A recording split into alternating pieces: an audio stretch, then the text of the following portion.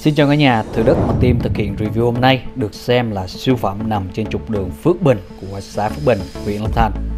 Và không còn tranh cãi gì nữa thì ai cũng đồng ý rằng trong tương lai, xã Phước Bình là điểm giao thương vận tải không chỉ riêng cho khu vực Long Thành mà còn cho cả khu vực Phú Mỹ vì lợi thế mà vị trí xã này có được.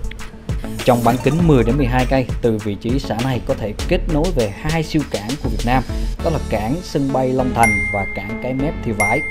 và cũng không ngoa khi nói rằng xã Phước Bình như lõi nằm trong lõi của đô thị sân bay Long Thành với lợi thế ba nút giao thông kinh tế tạo ra bởi 5 trên 7 tuyến đường cấp quốc gia mà nó đi qua phải kể đến là cao tốc Bến Lức Long Thành, cao tốc Biên Hòa Vũng Tàu, mới đây nhất là đường vành đai 4, đường quốc lộ 51 và đường quốc lộ 51C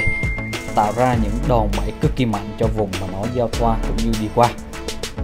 Xung quanh vị trí đất bán kính từ 2 đến 3 cây còn có những tuyến đường như là đường liên năm xã Phước Bình Bình An đã được triển khai một đoạn. Đường trước đất là đường Phước Bình đang được triển khai và mở rộng với quy mô lộ giới là 32m và bên cạnh đó còn có đường liên ba xã kết nối với các xã nằm trong phân vùng phía nam của Long Thành.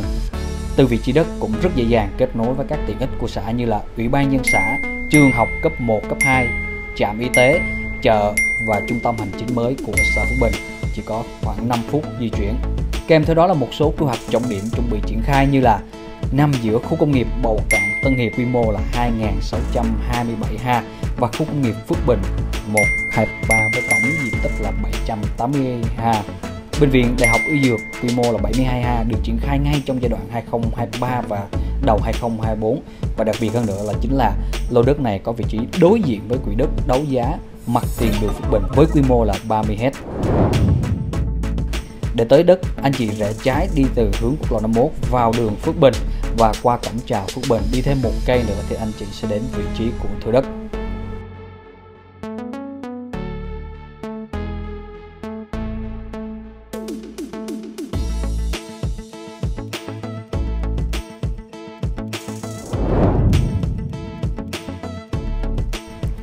Thửa đất có diện tích là 2.409 m2, trong đó mặt tiền đường Phước Bình là 39,6m, nợ hậu là 40.2m với chiều dài là 62,9m, có sẵn 50m2 thổ cư. Quy hoạch là đất ở hiện trạng tự cải tạo và có thể lên thổ cư được. Đường trước đất hiện hữu từ 10 đến 11m và đang thực hiện đền bù giai đoạn 2.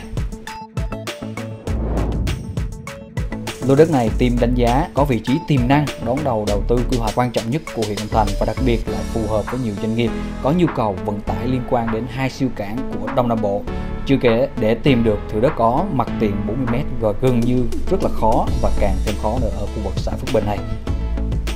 Và giá của lô đất này rẻ hơn mặt bằng chung so với giá trên trục đường Phước Bình.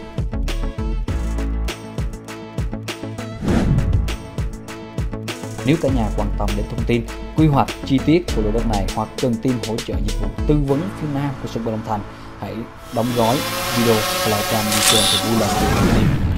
093 6666 831. Xin cảm ơn.